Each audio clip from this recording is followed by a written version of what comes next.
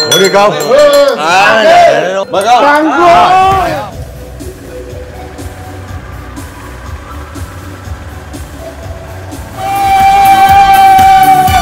Cô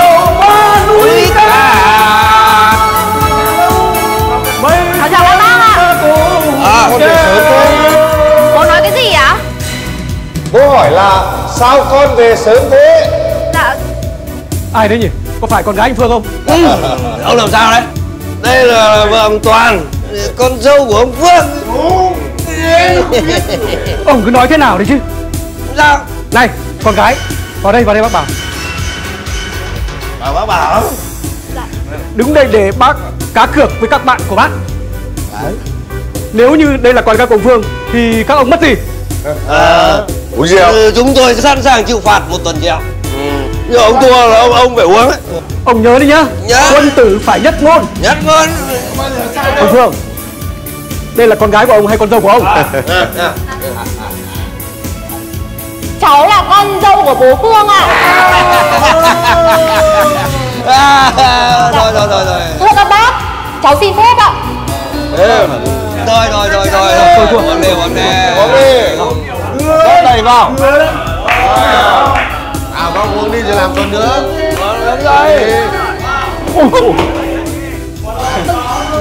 Dạ, không sao ạ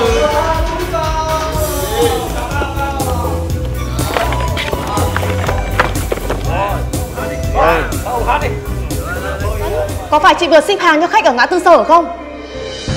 Ừ đúng rồi sao thế? Khách bảo xe showroom bị vỡ Khách muốn gặp chị Chị là khách quen, rất tin tưởng bên em Nên khi mở hộp thì quay lại làm gì Thế thì khó cho bọn em quá. Này, em định phủ trách nhiệm phải không? Có phải chị một lần đầu đâu mà phải làm cái trò ăn vạ đấy? Nhưng lúc em giao hàng mà chị vẫn còn nguyên vẹn. Bên em không bao giờ gói hàng lỗi cho khách cả. Thôi được rồi. Số hàng vừa rồi Cửa hàng sẽ thanh toán. Nhưng trừ vào lương của em Cho dù tháng này Em bán được đủ doanh số Nhưng không có tiền thưởng đâu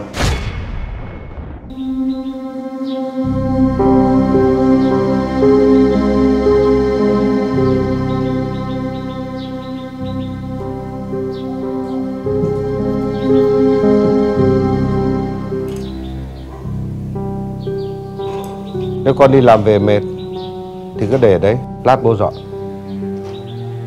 Thôi ạ Bố cứ vào phòng nghỉ đi. Con dọn tí là xong ạ.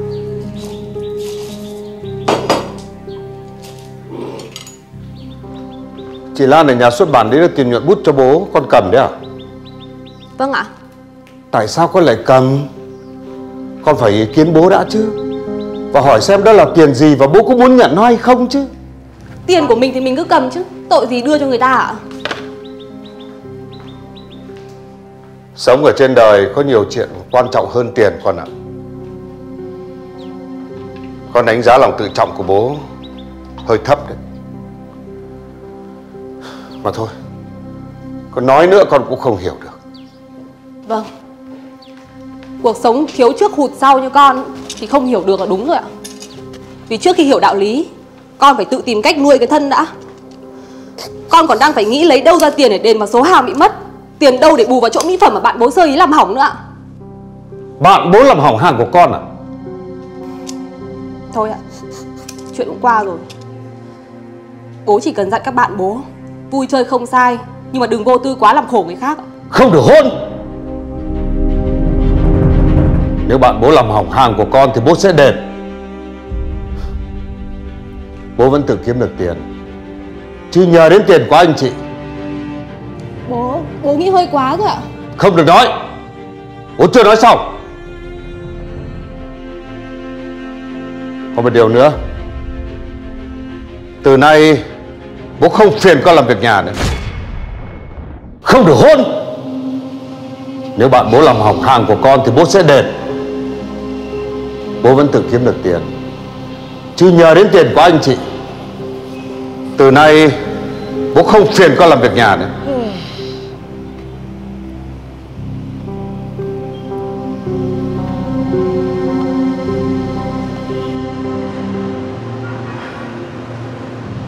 Anh về nhà dọn cơm ăn trước với bố đi. Em mệt Không ăn đâu. Sao? Lại giận dỗi chuyện gì rồi? Chả làm sao cả. Em nhất quyết không nói đúng không Em không nói là anh mặc kệ á. Nhưng mà sau này Em đừng có nói là chồng không quan tâm gì vợ nhá. Đấy con xem Nó ăn nói như thế bảo sao bố không bực? Bây giờ bố muốn mời ai về nhà Bố phải báo cáo phải xin phép vợ chồng nó à? Tính em Yến ấy Thì cứ nghĩ sao nói vậy. Nhưng không có ý đó đâu bố. Bạn bè của bố Bố muốn mời ai về mà chả được ạ. Mà cũng có thể là hôm nay công việc của Yến không thuận lợi. Làm sale cũng vất vả lắm bố ạ. Áp lực doanh số. Như chồng con ấy Nhiều lúc đi làm về là cứ cáu ầm ĩ cả nhà lên ấy. Không thể viện cớ thế được. Cái điều quan trọng ở đây là cách ăn nói. Bố không chấp nhận cái việc con cái cãi nhau tay đôi với bố mẹ. Một đồ đạc quý của đó thì nó mang lên phòng. Vợ chồng nó cũng bừa bãi lắm cơ. Thôi được rồi Bố cứ bình tĩnh đã. Để con nói chuyện lại với em bố ạ Thôi được rồi. Bố đi nghỉ đấy Dạ vâng.